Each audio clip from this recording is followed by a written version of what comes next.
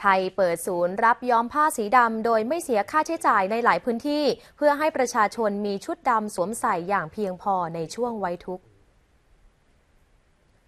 สำนักข่าว AP รายงานว่า ชาวไทยแห่นำเสื้อผ้าไปย้อมเป็นสีดำ ที่ศูนย์บริการรับย้อมผ้าโดยไม่เสียค่าใช้จ่าย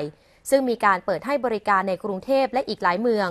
ศูนย์รับย้อมผ้าเปิดให้บริการตั้งแต่เมื่อวานนี้ โดยมีช่างมืออาชีพเป็นผู้ย้อมผ้าให้ รัฐบาลประกาศให้ประชาชนร่วมไว้ทุกการเสด็จสวรรคต ของพระบาทสมเด็จพระปรมินทรมหาภูมิพลอดุลยเดชเป็นเวลาหนึ่งปีทำให้ประชาชนแห่หาซื้อเสื้อผ้าสีดำจนเกิดการขาดแคลนในท้องตลาด นอกจากนั้นประชาชนยังร้องเรียนด้วยว่า ผู้จำหน่ายชุดดำหลายรายฉวยโอกาสขึ้นราคาสินค้า ทำให้ประชาชนที่มีรายได้น้อย ไม่สามารถซื้อเสื้อยืด เสื้อเชิ้ตกางเกง และกระโปรงสีดำสำหรับสวมใส่เพื่อแสดงความอาลัยและไว้ทุกข์ได้ค่ะ